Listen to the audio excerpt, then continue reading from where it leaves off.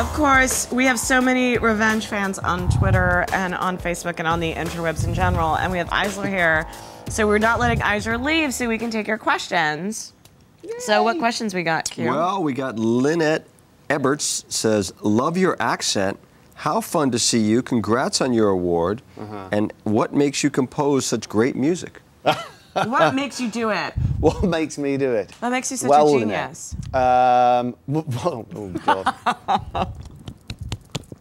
um, what makes me do it? It's just a great show. You know, it's it's a good show to write for. I'm, I'm sorry that's a very inane answer, but it, it's uh, it's really it's well written. It's just fun, and what is fun about it is that it's so super dramatic that you get to do these very sort of broad strokes, and and the fact that we use a live orchestra, you know. I sort of know what I can write for them and what they're capable of doing, and they're capable of doing just about anything. So it's, uh, you know, I hope that answers that. Someone, something. It does answer that. Yeah. And we also have Edgar Don't even try. Girbellini, Wow, not bad. Mm-hmm. and he he wants to know how you keep up with the fan love. The, uh, revenge, the revenge fan Yeah. love. I've got mad Twitter fingers. Mad Twitter fingers, mate. Twitter fingers. That's what it is, Edgar. No, uh, uh, actually, I've got to say the the Revenge fans. Of, I mean, of all the stuff that I've worked on, the Revenge fans are amazing. Like literally every time that show goes out, the Twitter feed just blows up, and and it, and the actors are really act- active in it as well. Um, uh, Gabriel Mann in particular gets on, and, and Ashley gets on, and and they just tweet the hell out of it. And I think Gabe was saying like, you know, they should be the, the ABC publicity department at some point. They just light Twitter up, and the fans really like talking about the show. The crazy thing is though, it's like, are you watching the show or are you tweeting about it?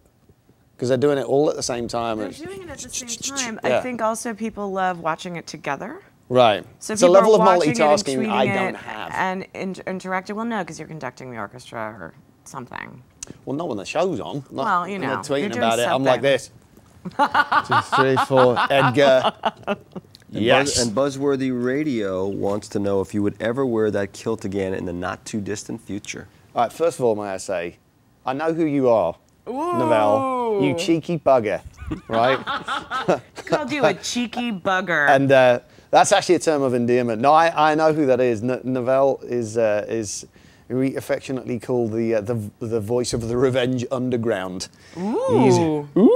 Ooh, ooh, well, I never. And he's um, he is a very big fan of the show. And uh, how do, what was the question? Other than him being you cheeky wear Are you going to rock the kilt again? again? Okay, Am I allowed to swear on the show? yes. Fuck no. He's done with his I'm a grown-up. quilts.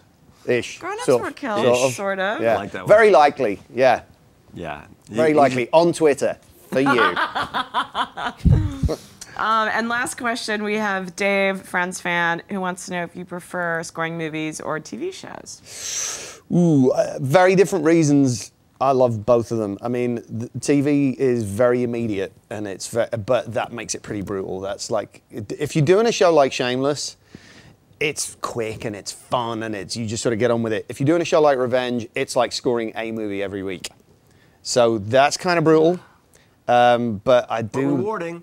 I mean, It is. It's very rewarding. rewarding because also it's immediate. There's no hanging around. It's not like being in a band where it's like, well, we'll maybe be in a band for 10 years, then maybe get signed, and then maybe we'll go on the road, and then maybe, maybe, maybe. It's no, no, no. It's out on Wednesday. Deliver. Right.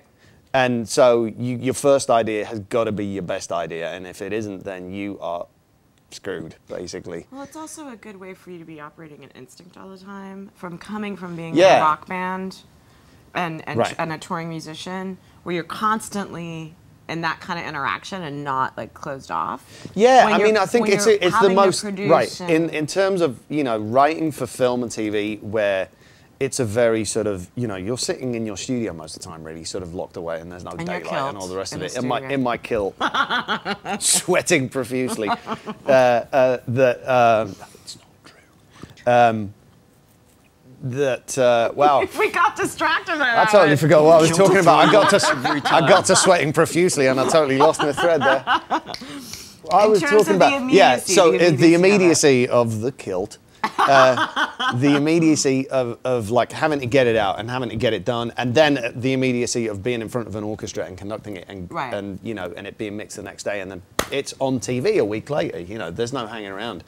So I do love that. Movies, I love for the opposite reason that you get a little more time to, to experiment and to pour over ideas and uh, and to you know and to sort of get it wrong. And you, you have to get it wrong a few times to get it right eventually. I think to be able to push the limits. Otherwise, you know, I could always reach into sort of the, the toolbox of stuff that I know works. And instead, it's worth trying to go a bit off base and getting it wrong in order to find something a bit different and a bit unique, you know. And great. that's, that's Well, thank idea. you again iZler. for coming. And thank you pleasure. to all the revenge You. Twitter people. And all the all the you Twitter revenge fans. tweets. And uh, we'll see you guys next week. Bye.